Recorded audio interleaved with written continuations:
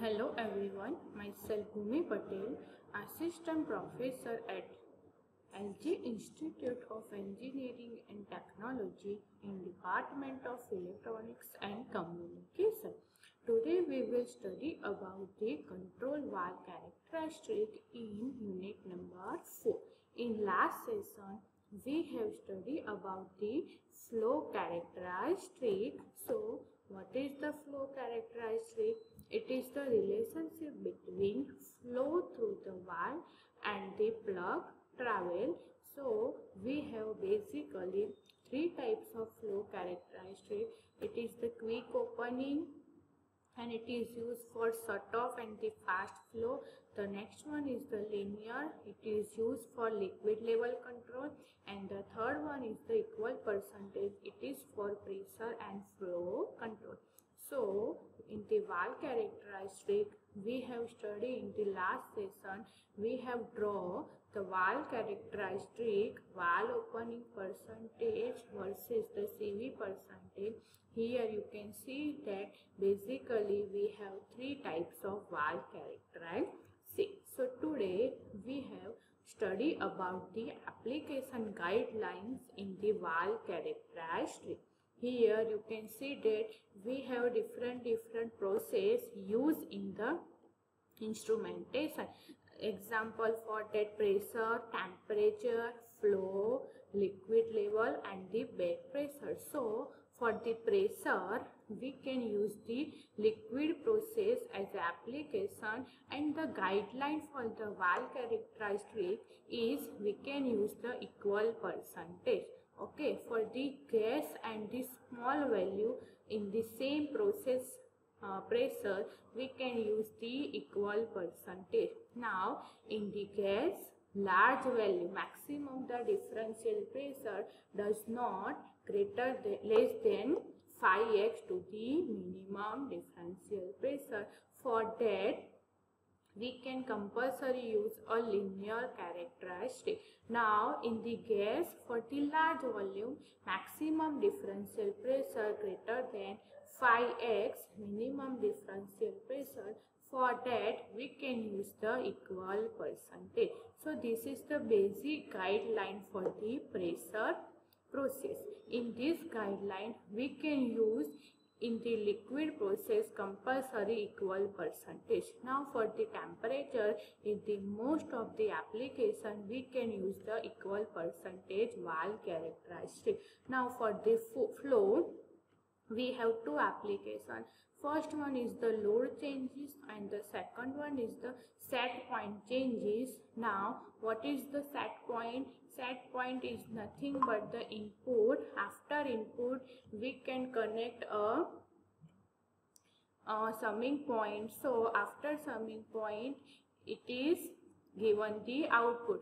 So input is work as a set point of the system so if we change the set point because of the we cannot get the proper output or the predefined or the desired output. So that we can change the set point of the system. And second one is the load changes. Now what is the load? Load is the final output of the system okay if we continue change the set point and through that we cannot get the perfect desired output we can change the load of the flow system. So for the load changes we can use the equal percentage characteristic and for the set point, point changes we can use the linear characteristic. Now for the liquid level there are two category maximum differential pressure less than 5x time minimum differential pressure and the second one is the maximum differential pressure greater than 5x time minimum differential pressure. So in the less than time we can use the equal percentage equal characteristic and for the greater than minimum differential pressure we can use the equal percentage. Now for the back pressure in in some of the process process back pressure is generated. So for the back pressure we can use use the constant differential pressure and for that we can compulsory use the linear characteristic. So according to the application or according to the output, we can decide the valve characteristic using this chart. Now next one is the flow control application. So particular flow control, we can derive the valve characteristic. So here you can see that flow controller measuring instrument with square root extractor and without square root extractor. So for the with square root extractor, so location of the control valve, we can connect the control valve as a series connection through this system. Suppose this is the input and this is the control valve and this is our process. So we can connect the control valve in the series connection. We can con connect the control valve in bypass Now what is the bypass? If in the same process we can get the two output. One output is important for the system and other output is not mentioned in the system. So we can connect here the control valve as a bypass connection. So with square root extractor, if we can connect the control valve in series connection, flow characteristic with high flow rate, that means its characteristic is linear and if with small flow rate it is equal percentage. Same like in bypass if we use for the high flow rate we can use the characteristic as a linear and if with the small flow rate it is the equal percentage. Now without square root extractor if we connect the control valve in series we can use the linear characteristic with high flow rate and the equal percentage with the small, small flow rate. And in bypass, if we can use the flow characteristic, in bypass we can use the with high flow rate and with small flow rate we can use the equal percentage flow characteristic. So this is the flow control application in the control valve. Now application general application of quick opening linear and equal percentage valves are where we can use the quick opening valve. So first one is the frequent on off service. Whenever we on or off the service is required in the system we can connect the quick opening valve because we can get the quick output in the instant of the input now next application is used for the system where instant large flow is needed. Okay, because you remember that that this is the percentage valve opening and this is the percentage of CV in the quick opening characteristic. In the instant input, we can get the maximum output. So it is used for systems where instant large flow is needed. Safety or cooling water system where the safety is important. That time we can connect the quick opening one. Now next application for the linear one. So, linear valve is generally used for liquid level and the flow control loops. And the second application is it is used in the system where the pressure drop across the valve is expected to remain fairly constant because the graph of the linear characteristic is like this. So most of it is used for the level of the liquid and the flow control loop. Now the third one is the equal percentage valve most commonly used in the valve because it is used for the temperature and pressure control loop and it is used in system where large change in pressure drop across the valve is expected. Now, what is the equal percentage? We can maintain percentage of valve opening and this is the percentage of CV and this is the characteristic of quick opening. So using the sorry equal percentage. So using the equal percentage valve we can maintain the output ratio. In equal percentage we know whatever input is given suppose the 10 percent input means 20 percent valve is opening. If we get the 20 percent output so we can maintain the ratio that 20 percent valve opening. We can get the 40 percent output and for the 30 percent we can get the 60 percent output. So if you want to open fully open the output we can control the valve opening 50 percent. That means we can open the valve 50 percent.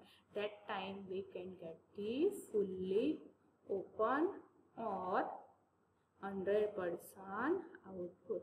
So it is most commonly used valve in the control system now this is the comparison of different types of valve. Here you can see that we can derive the different different valve body. This is the globe valve, unbalanced valve and the globe valve balanced, valve. As you know we have three types of globe valve.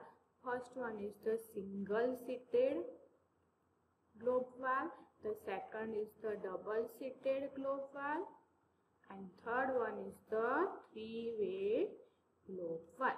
So depending upon the application we can connect the globe valve in this system. So first advantages of globe valve it is the large range and good setup. As you know that in the globe valve if we can use as a unbalanced globe valve the set setup ratio is good because in the single seated and in the double seated we can use the plug in the system. So we can get the good setup application in the globe valve now the disadvantages we can get the unbalanced force and the high pressure loss because we can connect the plug with the valve body so if it is not properly connected, we can get the pressure loss. Now if we can connect the globe valve in the balanced position, advantage is this. It is used for high capacity, large range and balance force.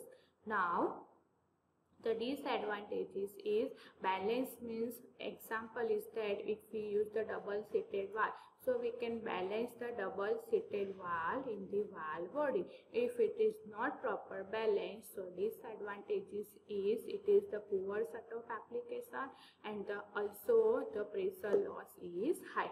So one main disadvantages of globe valve is high pressure loss. Now the next one is the ball valve. Ball valve is generally used for on and off application. Now in the ball valve, it advantages is it is the high capacity and tight shutoff. Okay.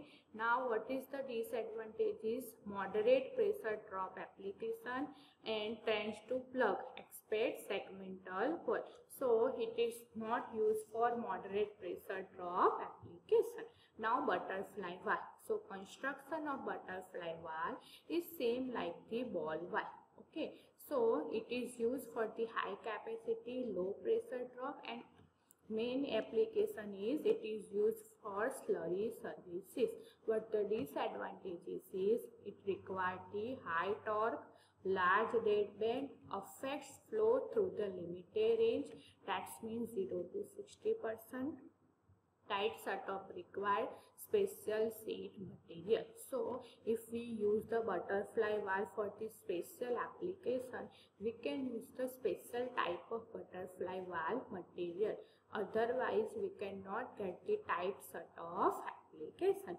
So this is the disadvantages of the butterfly valve. Now next one is the diaphragm okay we can connect the diaphragm instead of the ball and butterfly valve so one advantage is, is that when we using the diaphragm valve the overall cost of the valve is less but it is the short diaphragm life. Life of the diaphragm is short. If we apply the high pressure in the inflow, the diaphragm will damage compared to the butterfly and the ball valve. So advantages of diaphragm valve, it is most suitable for the slurry service and it is the corrosion resistance material.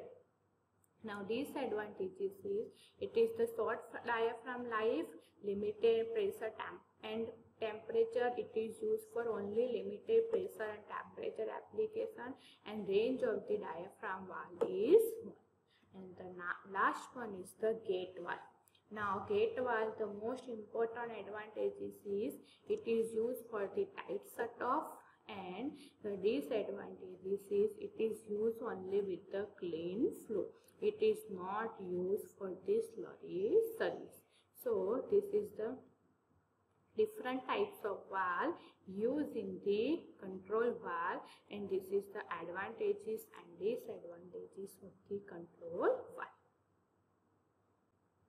Thank you everyone. If anyone have doubt, then contact me in this email ID.